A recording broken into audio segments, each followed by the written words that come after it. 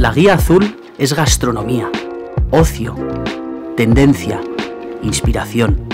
Como amante de viajar, del buen comer y sobre todo del albariño, he invitado a siete amigos muy especiales a la Casa Atlántica Mar de Frades para que me acompañen a descubrir siete ciudades españolas y poder conocer qué significa para ellos el verdadero Vive en Azul.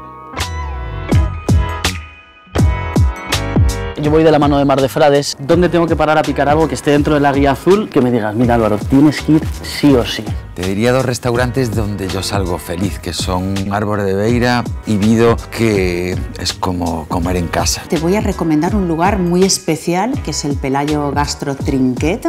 Y luego también te recomiendo la sastrería. Casa Cámara para comerte un buen changurro y después un buen plan con amigos de vinos y de pinchos es Bodega Donostiarra. Pues te voy a recomendar dos, uno que se llama Tseyang y otro que se llama Bascal. Buenísimos los dos. Pues mira, en el centro de la ciudad tienes el Nacional, que está muy bien y es muy bonito. Tal vez eh, Balausta, eh, el balneario, ¿no? son, son dos buenas opciones. Te recomiendo el restaurante Randemar, que es espectacular, y luego también el restaurante Yeta, que es precioso también, encima del mar.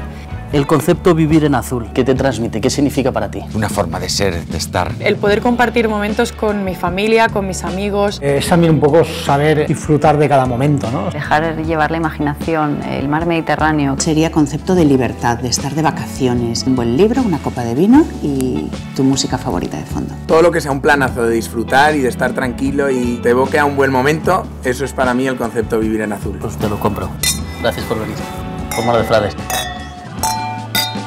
Por Mar de Frades y por vivir en azul. viaje.